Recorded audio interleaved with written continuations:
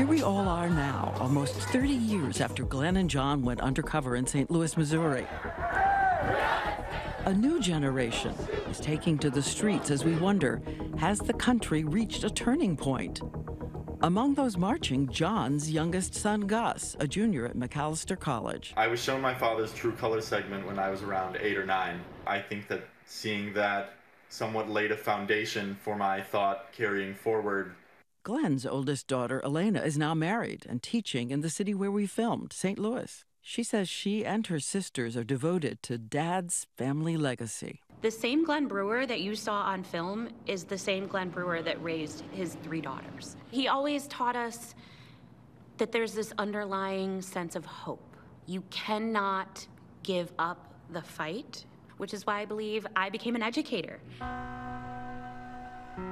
Abena and Alex filed an official complaint with HUD and declined to reveal the appraiser's name while that is under review.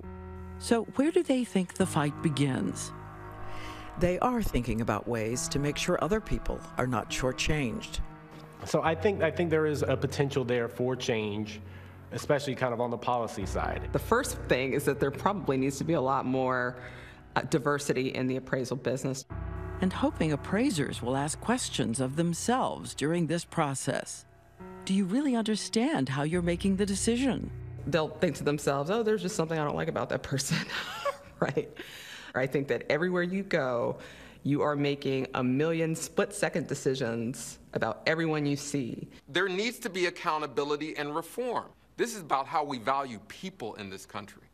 And we have got to change this because everyone deserves a shot at the American dream. But while we're waiting for the world to change, what will Abena and Alex tell their six year old son? When our son grows up and he's able to buy his own home, I really do hope and I do feel like things could be different. I think I'm just going to tell him my stories. I'm going to be transparent with him. But do you worry it will in some way make him trim his sails, his adventure, his dreams? Every day. Every day I'm concerned about that. I feel as though he's a little boy who should be able to walk into a room, um, be who he is, be proud of that, um, and not shrink in any way. Um, but at the same time, I don't want him to get the hard lesson in reality that he may, he may be treated differently. And this from our testers 30 years ago. My phone is never out of reach.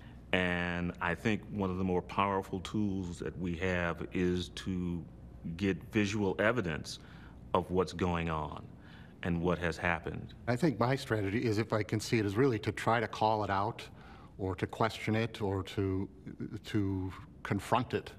You know, it's not always easy to do.